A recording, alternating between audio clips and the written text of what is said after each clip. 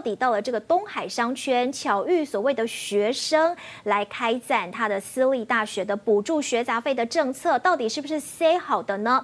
当时其实，在赖清德的后面还有一个人不断的做一些手势哦，现在还被抓包说，哎，这个人其实根本就是赖清德竞选总部发言人陈世凯的前助理，就是议员曾威，因此也引发各界质疑，这根本就是自导自演。好，选前不但大撒币，而且现在还塞了这个画面，难道所谓的这个赖神已经变成赖倒了吗？在今天的国会大现场有更多的内容，接下来要把时间连线给记者李佳瑜，要带我们详细来掌握一下，带您快来看。好，各位最新来了，关心赖清德赖神的人设是不是变成赖导演了？今天我们邀请到国民党立委赖世宝，是大早安，是文早安。我们今天聊，哎，赖清德他的人设真的是非常好吗？赖神赖神，但是现在。大家发现，他这一次呢，在东海商圈遇到了这个大学学生会的会长，那他怎么做呢？他大赞他的私校补助方法，说哦，终于不用打工了。但是很奇怪啊，这名学生呢，他刚刚好就是赖清德发言人，就是办公室的人的助理。那这很奇怪，这到底是不是塞好的？赖清德过去这些人人设啊，不管是私校补助、选前大撒币还是如何，为什么让人民觉得说有点假？太假了啦！这看起来就是事先布置好的，事先找这个学生，他导演。这时候想起了，那清德上一次以前不是在高铁上面救一个人吗？他渡后，奇怪呢，这种几率这么低，这是事先呢，事先安排好的。呃，我都认为是这个样子啊。啊，他这个学生怎么会这么刚好？啊，这个学生又是他发言人的助理，就清楚看得到嘛，事先就已经排好的。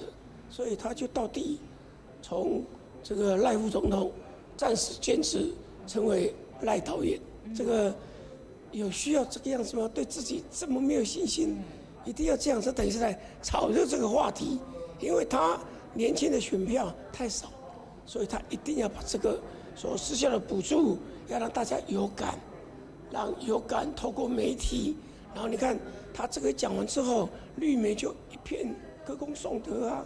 他就是要整个铺天盖地一条龙啊，就一条龙的服务。是，而且赖清德这个赖神的这个人设啊，其实蛮稳固的。不只是说呢，他过去呢一直就巧遇到各种人，那这个巧遇到底是民进党塞好的？尤其是这个私校补助，为什么这七年来民进党执政都不做，马上选前要做，不是傻逼是什么？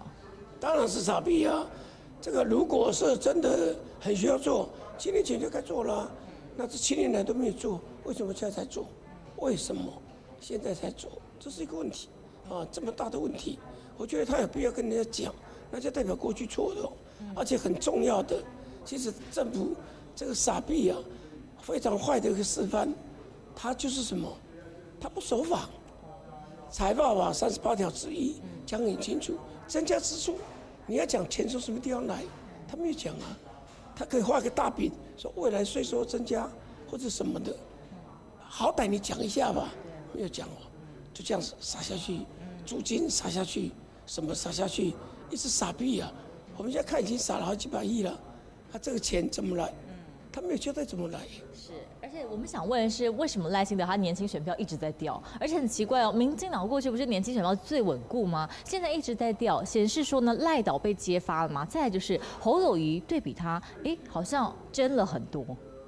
是啊，侯友谊比较真的啊，这个年头就变成说，真的民调上不来，假的民调就很高，就鼓励大家作假。其实啊，借这个机会啊，中天新闻台多讲讲。啊，让大家知道说，真的我们要支持，假的要唾弃。好，谢谢委员，感谢感谢。好，选民各自有自己的选票，能够决定神圣的关键一票哦。但是呢，我们可以看到，到底是要投导演呢，还是投真的会做事的人？因为现在赖清德呢，不断的人设大翻车，这一次赖神的人设变成了赖导演。怎么说呢？在东海商圈刚好遇到学生会的会长，还大赞说私校补助做得好。哇，这个人设真的是大家会觉得说，哇，真的好棒，每一次都可以遇到这么刚好的事情，又刚好符合这个他政策所。需需要。民进党的选前大傻逼，大家看不腻吗？七年执政下来，高教的生活、高教的补助，民进党关心吗？而是在选前马上跑出了这大傻逼，大家会觉得赖神真的不能叫赖神了，要叫赖岛。以上是我们找到惊喜行销镜头，在棚内。